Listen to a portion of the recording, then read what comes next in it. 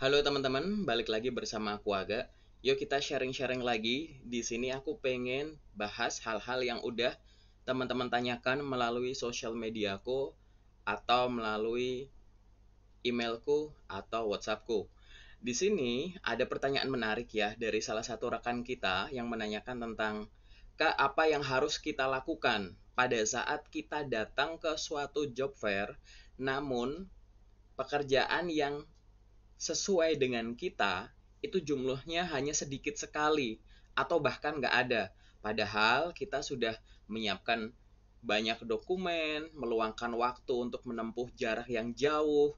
Tapi sampai sana ternyata pekerjaan yang tersedia itu hanya ada sedikit sekali yang sesuai dengan kita atau bahkan nggak ada.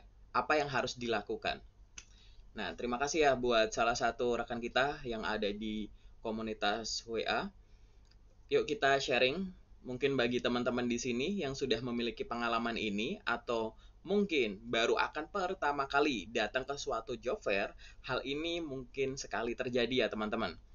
Jadi kita sudah meluangkan waktu menyiapkan macam-macam, kita datang ke suatu job fair offline di mana pada saat kita datang informasi yang tersedia di sana terkait dengan lowongan yang tersedia itu yang sesuai dengan kita tuh jumlahnya hanya sedikit atau bahkan tidak ada. Nah, ada beberapa hal teman-teman yang memungkinkan ini terjadi. Misalkan pada saat suatu job fair di info eventnya ini hanya tersedia oh perusahaan ini aja yang akan berpartisipasi. Oh posisi yang dibutuhkan tuh ini ini ini ini atau mungkin secara general kualifikasi yang disebut.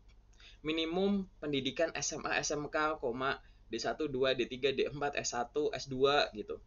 Tapi tidak menyebutkan role apa posisi apa gitu ya. Jadi pada saat kita datang kita akan menemukan hal yang semacam tadi. Lalu apa yang bisa dilakukan di sini? Nomor satu yang aku saranin nih adalah silahkan berkomunikasi dengan siapa pun orang yang ada di booth tersebut. Beliau-beliau itu bisa jadi adalah rekruter bagian rekrutmennya, atau mungkin ada user, atau mungkin siapa pun dari pihak perusahaan yang mungkin bisa menyediakan informasi lebih lengkap. Ingat ya teman-teman, pada saat ada suatu perusahaan membuka lowongan pekerjaan di suatu booth, di suatu event job fair, belum tentu hanya lowongan pekerjaan tersebut yang sedang dibuka, yang sedang tersedia. Oke? Dan belum tentu juga yang tersedia itu hanya itu saja. Mungkin dalam waktu dekat akan dibuka posisi-posisi baru. Sehingga teman-teman ya, misalkan sudah meluangkan waktu, udah aku niatin nih dari pagi sampai sore ada di job fair ini. Eh ternyata cuma setengah jam aktivitasku udah selesai karena udah nggak ada lagi yang bisa aku apply. Kalau langsung pulang sayang banget jauh. Aku masih punya waktu banyak. Sehingga silahkan teman-teman di situ ya beranikan diri khususnya bagi teman-teman fresh graduate nih beranikan diri untuk bertanya silahkan misalkan perkenalkan diri dulu. Selamat pagi bapak atau ibu. Perkenalkan nama saya ini. Mohon informasinya ibu. Gitu. Apakah ada lowongan yang tersedia di luar posisi ini untuk perusahaan ini? Gitu. Boleh sampaikan saya tertarik untuk bekerja di bidang ini ini ini ini. Barangkali ada posisi lain yang sedang dibuka namun tidak ada di sini. Misalkan gitu. Boleh. Atau misalkan kemarin itu ada yang nanya misalkan salah satu teman kita di grup locker juga jadi beliau mencari lowongan pekerjaan sebagai security atau satpam gitu. Aku pribadi pun ya beberapa kali datang ke job fair offline gitu ya cukup jarang gitu ya jarang ditemukan untuk posisi tersebut. Nah namun silahkan bisa dicoba silahkan ditanyakan. Walaupun nggak ada yang buka ditanyain satu-satu ya nggak apa-apa. Kenapa karena setiap kantor butuh security. Setiap kantor butuh satpam. Walaupun memang misalkan nanti akhirnya ya teman-teman tanya dan oh mohon maaf nggak ada nggak apa-apa. Teman-teman nanti akan dapat info. Karena udah dipraktekkan juga ditanya-tanya semacam itu ternyata oh iya pak kita butuh satpam nanti ada gudang baru yang mau kita buka nanti silahkan menghubungi saya bla bla bla. Akhirnya di akhir komunikasi tersebut meninggalkan CV dan kontak lah ya biar nanti dihubungi. Ada. Jadi ternyata nggak dibuka di sini tapi ada satu plan yang sedang dibangun. Tunggu nanti launching. Setelah itu nanti ada rekrutmen besar besaran eh, rekan-rekan karyawan pabrik gitu termasuk securitynya. Jadi di situ oh iya pak nanti coba aja di daerah sini bla bla bla gitu. Itu cerita dari beberapa teman-teman yang udah sharing ke aku. Jadi silahkan tanyakan saja nggak apa-apa ke orang yang ada di sana. Kemungkinan teman-teman akan memperoleh jawaban apa sih? Satu, oh nggak ada gitu. Ya udah that's it gitu kan ya. Terus teman-teman juga boleh nanya di mana saya dapat memperoleh informasi lowongan pekerjaan terupdate yang selalu update dari perusahaan ibu ini.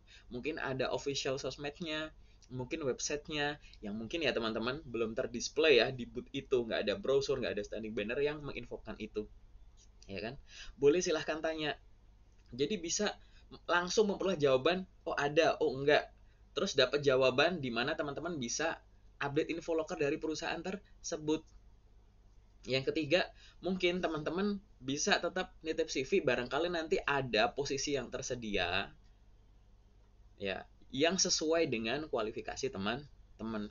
Boleh banget kayak gitu. Jadi dari sini teman-teman artinya apa?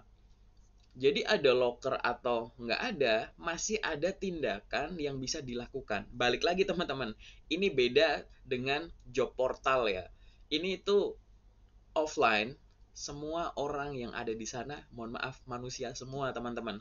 Jadi teman-teman boleh berkomunikasi secara langsung macam itu apalagi tadi ya aku kasih beberapa contoh security satpam mungkin OB semacam itu itu perusahaan tuh butuh gitu. Ya kan? Mungkin di job itu bukan hal yang lazim akan diinfokan. Oke tapi nggak ada salahnya nanya. Paling kalau nggak dijawab nggak tahu maksudnya belum tersedia sorry gitu teman-teman akan diarahkan mungkin perusahaan tersebut menggunakan outsource tertentu gitu. Oh kita udah pakai jasanya ini.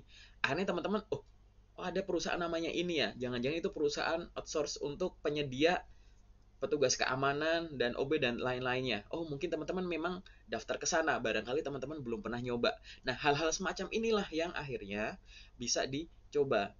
Jadi jangan buru-buru pulang dulu, padahal di sana masih ada banyak sekali aktivitas yang bisa dilakukan. Salah satunya adalah coba menanyakan apakah tersedia informasi lowongan pekerjaan yang teman-teman cari tapi nggak ketemu, boleh menanyakan terkait dengan di mana teman-teman bisa update informasi lowongan pekerjaan ke depannya. Dan yang ketiga, teman-teman juga bisa menawarkan diri. Barangkali apa yang saya miliki, yang sudah saya tulis di CV ini, sesuai dengan apa yang dibutuhkan oleh perusahaan. Sehingga sebagai bahan pertimbangan, saya tinggalkan CV ini. Nah, itu ya teman-teman sementara dari aku terkait dengan kegiatan yang bisa dilakukan saat teman-teman menghadiri suatu job fair di mana informasi yang dicari terkait lowongan pekerjaannya itu hanya sedikit yang sesuai dengan teman-teman atau bahkan nggak ada. Jangan buru-buru pulang karena masih ada komunikasi yang bisa teman-teman lakukan. Ingat ya teman-teman, kita mau bertahan sedikit lebih lama untuk berinteraksi dengan siapa pun, meningkatkan kemungkinan akan adanya ide bisnis atau hal-hal yang menguntungkan secara profesional. Paling sementara dari aku itu dulu teman-teman. Terima kasih. Kalau mau diskusi silahkan tuliskan di kolom komentar nggak apa-apa atau bisa menghubungi aku di sosmedku yang ada di Instagram sama LinkedIn aku saraninya biar fast respon. Thank you teman-teman, semoga teman-teman segera memperoleh pekerjaan impian. Terima kasih.